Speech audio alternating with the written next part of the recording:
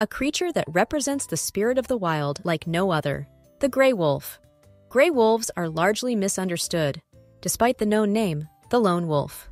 They are actually highly social. These remarkable creatures form tight knit family packs where cooperation and communication is key to their survival. With incredible speed and agility, gray wolves can reach speeds of up to 40 miles per hour, making them fearsome hunters in the wild. And on top of that, their senses are razor sharp. Their keen sense of smell can detect all types of scents from miles away. But their survival hasn't come easy. Due to expanding human population, gray wolves have faced heavy habitat loss and persecution for centuries. And speaking of centuries, evolving alongside humans, gray wolves have become our loyal companions. They are really the ancestors of our best friends.